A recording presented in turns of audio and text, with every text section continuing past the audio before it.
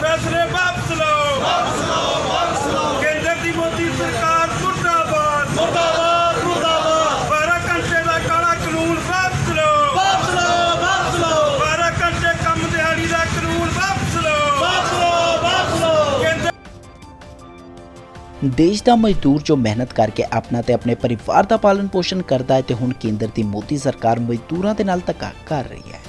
ਜਿਸ ਦੇ ਤਹਿਤ ਵੱਖ-ਵੱਖ ਟ੍ਰੇਡ ਯੂਨੀਅਨ ਕੌਂਸਲ, ਦਲਿਤ ਸਮਾਜ ਅਤੇ ਸਮਾਜ ਦੀਆਂ ਸਮੂਹ ਬਰਾਦਰੀਆਂ, ਜਥੇਬੰਦੀਆਂ ਵੱਲੋਂ ਕੇਂਦਰ ਸਰਕਾਰ ਦੇ ਖਿਲਾਫ ਰੋਸ ਪ੍ਰਦਰਸ਼ਨ ਕੀਤਾ ਜਾ ਰਿਹਾ ਹੈ। ਉੱਥੇ ਹੀ ਨਾਭਾ ਵਿਖੇ ਵੀ ਦਲਿਤ ਸਮਾਜ ਦੀ ਵੱਖ-ਵੱਖ ਜਥੇਬੰਦੀਆਂ ਵੱਲੋਂ ਕੇਂਦਰ ਸਰਕਾਰ ਦੇ ਖਿਲਾਫ ਲੇਬਰ ਕਾਨੂੰਨ ਅਤੇ ਸੰਵਿਧਾਨ ਨਾਲ ਛੇੜਛਾੜ ਕਰਨ ਦੇ ਵਿਰੋਧ ਵਿੱਚ ਰੋਸ ਪ੍ਰਦਰਸ਼ਨ ਕੀਤਾ ਗਿਆ।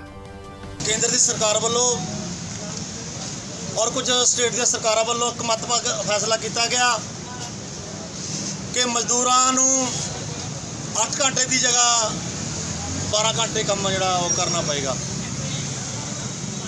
ਕੁਝ ਹੀ ਸਮੇਂ ਦੇ ਦੌਰਾਨ ਯੂਪੀ ਦੀ ਜੋਗੀ ਸਰਕਾਰ ਵੱਲੋਂ, ਅਸਾਮ ਦੀ ਬੀਜੇਪੀ ਸਰਕਾਰ ਵੱਲੋਂ, ਹਿਮਾਚਲ ਦੀ ਬੀਜੇਪੀ ਸਰਕਾਰ ਵੱਲੋਂ, ਤ੍ਰਿਪੁਰਾ ਦੀ ਸਰਕਾਰ ਵੱਲੋਂ ਔਰ ਯੂਪੀ ਦੀ ਜਿਹੜੀ ਆ ਜੋਗੀ ਸਰਕਾਰ ਵੱਲੋਂ ਫੈਸਲਾ ਕਰ ਦਿੱਤਾ ਗਿਆ ਕਿ ਲੇਬਰ ਲਾ ਨੂੰ ਮੁਲਤਵੀ ਕਰ ਦਿੱਤਾ ਗਿਆ 3 ਸਾਲ ਦੇ ਲਈ।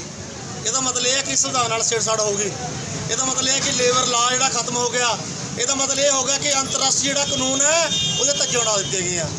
ਉਹਦੀ ਲੜੀ ਦੇ ਤਹਿਤ ਰਾਜਸਥਾਨ ਦੀ ਜਿਹੜੀ ਹੈ ਸਰਕਾਰ ਵੱਲੋਂ ਔਰ ਪੰਜਾਬ ਦੀ ਸਰਕਾਰ ਵੱਲੋਂ ਵੀ ਜਿਹੜਾ ਹੈ ਕੇਂਦਰੀ ਸਰਕਾਰ ਵਾਲਾ ਰਵੱਈਆ ਮਜ਼ਦੂਰਾਂ ਨਾਲ ਅਪਣਾਇਆ ਗਿਆ। ਰਾਜਸਥਾਨ ਦੇ ਅੰਦਰ ਔਰ ਪੰਜਾਬ ਦੇ ਅੰਦਰ ਕਾਂਗਰਸ ਦੀ ਸਰਕਾਰ ਆ। ਯੂਪੀ ਅੰਦਰ, ਗੁਜਰਾਤ ਅੰਦਰ, ਹਿਮਾਚਲ ਅੰਦਰ ਬੀਜੇਪੀ ਦੀ ਸਰਕਾਰ ਆ।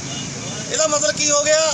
ਇਹਦਾ ਮਤਲਬ ਇਹ ਹੋ ਗਿਆ ਕਿ ਬ੍ਰਹਮਣਵਾਦੀਆਂ ਏ ਔਰ ਬੀ ਟੀਮਾਂ ਨੇ ਕਾਂਗਰਸ ਅਤੇ ਬੀਜੇਪੀ ਇਹ ਦਲਤ ਵਿਰੋਧੀ ਨੇ, ਇਹ ਮਜ਼ਦੂਰ ਵਿਰੋਧੀ ਨੇ।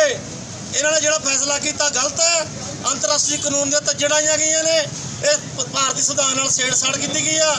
ਅੱਜ ਪੂਰੇ ਦੇਸ਼ ਦੇ ਅੰਦਰ ਭਰਾਤਰੀ ਜਥੇਬੰਦੀਆਂ ਵੱਲੋਂ ਔਰ ਮੰਗ ਪੱਤਰ ਦਿੱਤੇ ਜਾ ਰਹੇ ਨੇ। ਦੇਸ਼ ਦੇ ਰਾਸ਼ਟਰਪਤੀ ਦੇ ਨਾਂ ਤੇ, ਗਵਰਨਰਾਂ ਦੇ ਨਾਂ ਤੇ ਕਿ ਜਿਹੜਾ ਕਾਲਾ ਕਾਨੂੰਨਾਂ ਨੂੰ ਵਾਪਸ ਲਓ? ਜੇਕਰ ਇਹ ਕਾਲਾ ਕਾਨੂੰਨ ਵਾਪਸ ਨਾ ਲਿਆ ਤਾਂ ਅਸੀਂ ਤਿੱਖਾ ਸੰਘਰਸ਼ ਕਰਨ ਲਈ ਮਜਬੂਰ ਹੋਵਾਂਗੇ। ਇਹਦੀ ਸਾਰੀ ਜ਼ਿੰਮੇਵਾਰੀ ਕੇਂਦਰ ਦੀ ਹੋਏਗੀ, ਸਾਰੀ ਜ਼ਿੰਮੇਵਾਰੀ ਸਟੇਟ ਸਰਕਾਰਾਂ ਦੀ ਹੋਏਗੀ। 11 ਮੈਂਬਰੀ ਕਮੇਟੀ ਜਿਹੜੀ ਆ, ਮੰਗ ਪੱਤਰ ਦੇਣ ਲਈ ਅਸੀਂ ਬੁਲਾਏ ਸੀ ਇੱਕ ਇੱਕ ਦੋ ਦੋ ਸਾਥੀਆਂ ਨੂੰ ਬੁਲਾਇਆ ਸਾਰੇ ਜਥੇਬੰਦੀਆਂ ਵੱਲੋਂ ਕਿ ਵੀ ਅਸੀਂ ਸਰਕਾਰ ਦੇ ਕੰਨਾਂ ਤੱਕ ਪਹੁੰਚਾਉਣਾ, ਕਿਉਂਕਿ ਸੋਸ਼ਲ ਡਿਸਟੈਂਸ ਦਾ ਵੀ ਜਿਹੜਾ ਧਿਆਨ ਰੱਖਣਾ ਔਰ ਉਹ ਜੋ ਮਹਾਮਾਰੀ ਚੱਲੀ ਆ ਪੂਰੇ ਦੁਨੀਆ ਅੰਦਰ, ਉਸ ਚੀਜ਼ ਨੂੰ ਧਿਆਨ ਵਿੱਚ ਰੱਖਦੇ ਹੋਏ ਅਸੀਂ ਜਿਹੜਾ ਹੈ 11 ਮੈਂਬਰੀ ਕਮੇਟੀ 21 ਮੈਂਬਰੀ ਕਮੇਟੀ ਜਿਹੜਾ ਮੰਗ ਪੱਤਰ ਦੇਣਾ ਸੀ। ਪਰੰਤੂ ਇੱਥੇ ਸੈਕੰਡਰੀ ਤਦਾਰ ਅੰਦਰ ਸਾਥੀ ਇਕੱਠੇ ਹੋ ਗਏ। ਤਹਿਸੀਲਦਾਰ ਸਾਹਿਬ ਆ ਰਹੇ ਨੇ, ਅਸੀਂ ਮੰਗ ਪੱਤਰ ਦੇਵਾਂਗੇ ਔਰ ਮੰਗ ਕਰਾਂਗੇ ਕਾਲਾ ਕਾਨੂੰਨ ਜਿਹੜਾ ਉਹ ਵਾਪਸ ਲਿਆ ਜਾਵੇ। ਬੀਜੇਪੀ ਸਰਕਾਰ ਦੇ ਖਿਲਾਫ ਜਿਹੜੇ ਅੱਜ ਦੇਸ਼ ਭਰ ਦੇ ਵਿੱਚ ਪ੍ਰਦਰਸ਼ਨ ਹੋ ਰਹੇ ਨੇ, ਉਹਦਾ ਵੱਡਾ ਕਾਰਨ ਇਹ ਹੈ ਕਿ ਜਦ ਲੋਕਡਾਊਨ ਦੀ ਆੜ ਦੇ ਵਿੱਚ ਬੀਜੇਪੀ ਸਰਕਾਰ ਨੇ ਐਸੇ ਲੋਕ ਵਿਰੋਧੀ ਫੈਸਲੇ ਲਏ ਨੇ ਜਿਹੜੇ ਬਰਦਾਸ਼ਤ ਨਹੀਂ ਕੀਤੇ ਜਾ ਸਕਦੇ। ਜਿਵੇਂ ਸਭ ਤੋਂ ਵੱਡਾ ਲੋਕ ਵਿਰੋਧੀ ਫੈਸਲਾ ਜਿਹੜਾ ਕੰਮ ਦਿਹਾੜੀ ਦਾ, ਜੋ ਦਿਹਾੜੀ 8 ਘੰਟੇ ਪਹਿਲਾਂ ਕੰਮ ਦੀ ਸੀ, ਉਹਨੂੰ ਵਧਾ ਕੇ 12 ਘੰਟੇ ਕਰ ਦਿੱਤਾ ਗਿਆ। ਅਸੀਂ ਟ੍ਰੇਡ ਯੂਨੀਅਨਾਂ ਵਾਲੇ ਤੇ ਮਜ਼ਦੂਰਾਂ ਦੀ, ਜਥੇਬੰਦੀਆਂ ਦੀ ਤਰਫੋਂ ਸਰਕਾਰ ਤੋਂ ਇਹ ਮੰਗ ਕਰਦੇ ਹਾਂ ਕਿ ਕੰਮ ਦਿਹਾੜੀ ਵਧਾਉਣ ਦੀ ਬਜਾਏ ਕੰਮ ਦਿਹਾੜੀ ਘਟਣੀ ਚਾਹੀਦੀ ਆ, ਕਿਉਂਕਿ ਅੱਜ ਮੁਲਕ ਦੇ ਵਿੱਚ ਮਸ਼ੀਨੀਕਰਨ ਜਿਹੜਾ ਇੰਨੀ ਤੇਜ਼ੀ ਨਾਲ ਹੋ ਰਿਹਾ ਹੈ ਤੇ ਮਸ਼ੀਨ ਇੰਨੀ ਤੇਜ਼ੀ ਨਾਲ ਪੈਦਾਵਾਰ ਕਰ ਰਹੀ ਹੈ ਜਿਹੜੀ ਸਾਡੇ ਸਾਰੇ ਮੁਲਕ ਦੇ ਲੋਕਾਂ ਨੂੰ ਐਨ ਆਸਾਨੀ ਨਾਲ ਜਿਹੜੀਆਂ ਉਤਪਾਦਨ ਨੇ ਜਿਹੜੇ ਪੈਦਾਵਾਰ ਦੀਆਂ ਚੀਜ਼ਾਂ ਨੇ ਉਹ ਦੇ ਰਹੀ ਆ।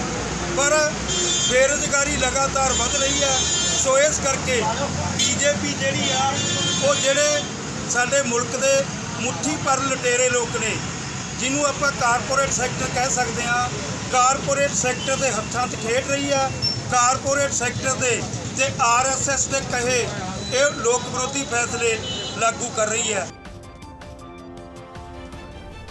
ਨਾਭਾ ਤੋਂ ਸੁਖਚੈਨ ਸਿੰਘ ਲੁਬਾਣਾ ਦੀ ਰਿਪੋਰਟ ਦਾ ਟੀਵੀ ਐਨਆਰਆਈ